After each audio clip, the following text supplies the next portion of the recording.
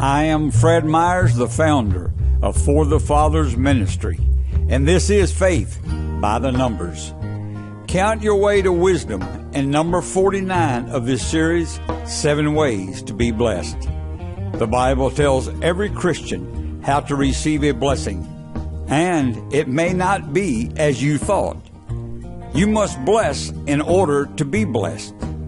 Peter writes in 1 Peter 3 9, Do not repay evil for evil, or reviling for reviling, but on the contrary, bless, for to this you were called, that you may obtain a blessing.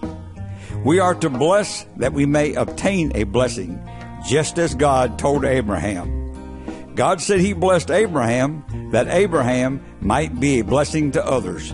Genesis 12 2.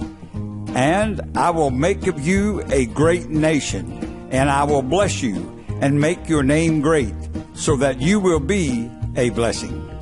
Seven ways to be blessed. One, do not repay evil for evil. Two, do not revile for reviling. Three, do not threaten back. Four, bless those that curse you.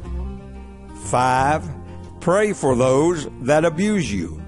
Six, when persecuted, endure. Seven, suffer for doing good. The word blessing includes enablement.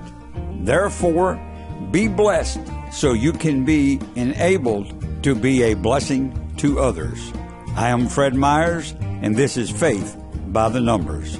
It is my prayer that many will count their way to wisdom through this series and find the peace that surpasses all understanding.